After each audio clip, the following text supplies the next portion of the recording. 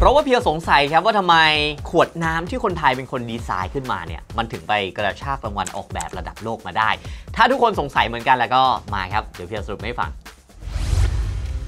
นี่ครับนี่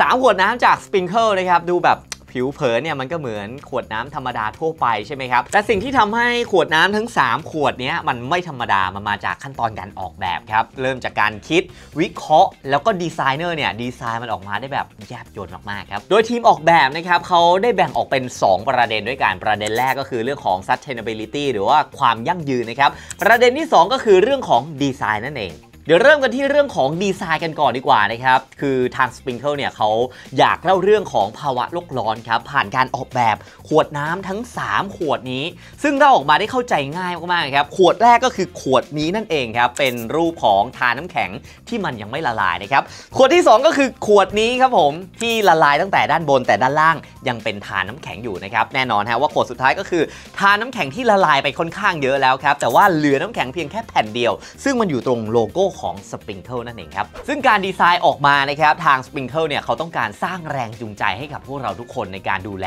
รักษาโลกของพวกเราครับมาต่อกันที่เรื่องของ sustainability นะครับ อย่างแรกเลยฮะทีมดีไซน์เนี่ยเขาต้องการที่จะลดการใช้ขยะพลาสติกลงครับ นั่นเป็นเหตุผลว่าทำไมขวดน้ำของ Sprinkle ถึงไม่มีฉลาก ข้อต่อมาคือขวดของเขาเนี่ยจะต้องใสไม่มีสีครับ เพราะว่าจะได้รีไซเคิลได้จริง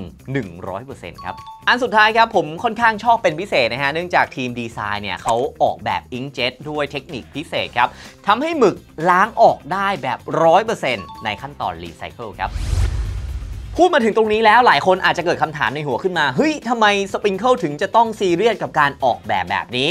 เล่าแบบนี้ครับว่านอกจาก Sprinkle เนี่ยเขาจะซีเรียสเรื่องของคุณภาพน้ำแล้วนะครับ ผลิตภัณฑ์ที่เขาผลิตขึ้นมาเนี่ยจะต้องไม่ทำร้ายโลกด้วยครับ อันนี้ยิ่งค่อนข้างชัดเจนเลยครับ เนื่องจากเด็กยุคใหม่เนี่ยเขาให้ความสำคัญเรื่องของ Keep the World แล้วก็ Sustainable มากๆนะครับ โดยที่เด็กรุ่นใหม่ เด็กยุคนี้เขามีความคิดว่าพวกเขาเป็นส่วนหนึ่งของโลกครับและถ้าพวกเขามีส่วนที่จะทำให้โลกของเรามันดีขึ้นได้ แม้จะเพียงเล็กน้อยเนี่ยพวกเขาก็จะทำครับซึ่ง Sprinkle ตอบโจทย์เรื่องนี้แบบเต็มที่อย่างแน่นอนนะครับถ้าคิดเป็นคะแนนเต็ม 10 Sprinkle ก็คงได้ 10 เต็ม 10แหละครับ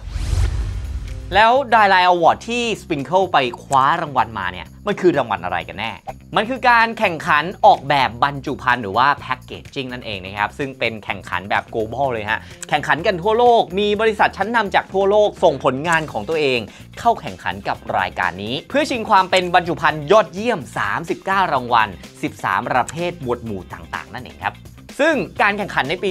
2024 ที่ผ่านมาครับมีผลงานที่ถูกส่งเข้าประกวดในรายการนี้ทั้งหมด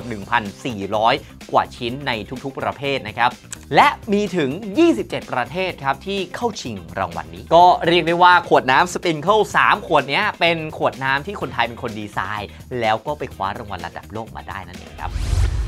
ฝีมือของคนไทยนี่ไม่ธรรมดาจริงๆครับ รวมถึงแนวคิดในการออกแบบของสปริงเกิลนี่เรียกว่าสุดยอดจริง ๆ เลยนะครับ สุดท้ายนี้ครับ ฝากกดหัวใจ กดไลค์ กดแชร์ กด Subscribe เป็นกำลังใจให้กับทีมข่าวสปริงนิวด้วยนะครับ